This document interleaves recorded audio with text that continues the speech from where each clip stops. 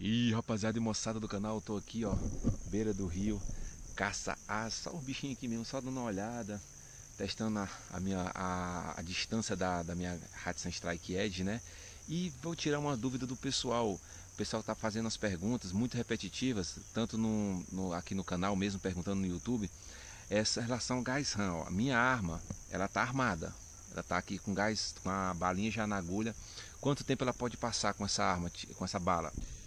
E rapaziada e moçada do canal, mais um dia de caçada para vocês. Vídeo aqui rapidinho para tirar a dúvida. Quanto tempo uma arma de gás RAM pode ficar armada, gente? Isso é uma pergunta que muita gente tem com o pessoal que está comprando a arma agora, que está entrando no canal agora, é, não viu os vídeos antigos. Gente, o tempo que a arma gás RAM pode ficar armada não tem, não existe tempo. Pode passar 20, 30, 40, 50 minutos, não tem problema nenhum. Tem problema se sua arma for a mola, mola no máximo 10 minutos. E qual a dica que eu dou? Se você for caçar com gás RAM, chegou, armou, botou chumbinho, puxou a trava de segurança, pronto, fique com ela ali no ponto. Se for mola e você vai ter certeza que vai chegar alguma coisa ou não, é 10 minutos. Se passar de 10 minutos, o que é que eu faço? Dá um tiro no chão, cara. Desarma ela e arma novamente. Às vezes, quando a minha aqui era mola, o que é que eu fazia? eu deixava ela, quando caçar pomba, as pombas chegam o tempo todo, dava tempo.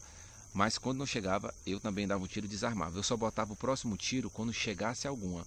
Mas tem aquele famoso teco quando você arma ela que faz um barulho. Aí, cara, vai ser vai ser por sua conta, beleza?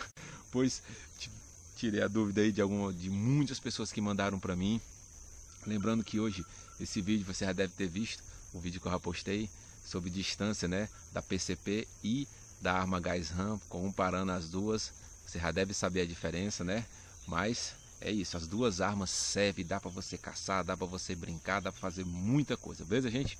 Pois, abração, um beijo na bunda, se inscreve no canal, dá aquele like e é nóis!